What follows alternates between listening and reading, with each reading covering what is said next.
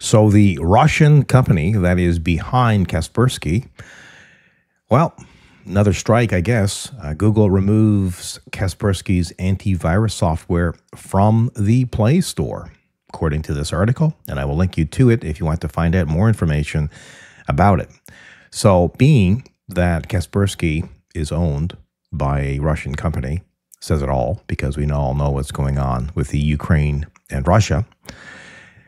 And there's obvious concerns, right, about Kaspersky and um, certainly people in other countries using the software. There's a concern that there could be vulnerabilities in the software, uh, you know, that could compromise national security, I suppose. I don't know. I'm not into national security, but I'm kind of figuring that's probably the reason why.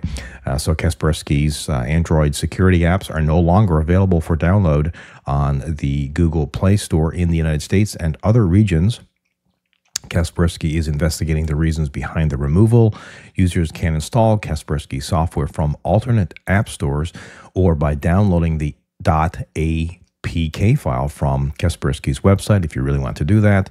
The removal is likely due to the U.S. government sanctions imposed on Kaspersky in June. Kaspersky previously uh, replaced its anti malware software with Ultra AV without informing customers. Um, I don't know if you remember the video that I did on that, but it was about some people were saying that Kaspersky kind of uninstalled itself and then reinstalled itself as something else, and it was called Ultra AV. So, what are your thoughts on this?